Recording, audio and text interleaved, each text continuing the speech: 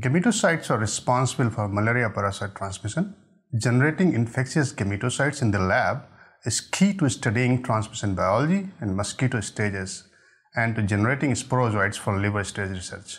These methods are simple for any laboratory to adopt and visual demonstration will aid in the sharing of these procedures with the worldwide malaria community.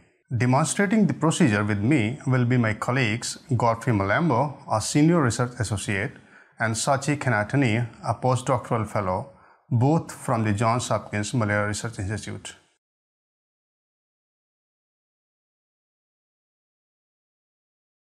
To set up a gametocyte culture, spin down 5 milliliters of feeder culture in a centrifuge and resuspend the pellet in 30 milliliters of complete medium.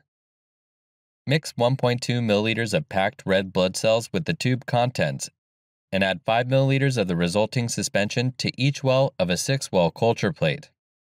Then, place the plate in a candle jar at 37 degrees Celsius.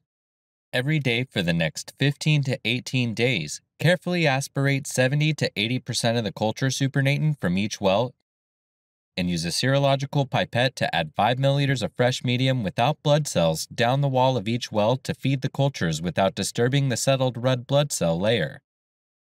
To quantify mature gametocytemia on day 15 to 18, make a blood smear and count the number of mature gametocytes in a minimum of 1,000 red blood cells to allow calculation of the percentage of mature gametocyte infected red blood cells.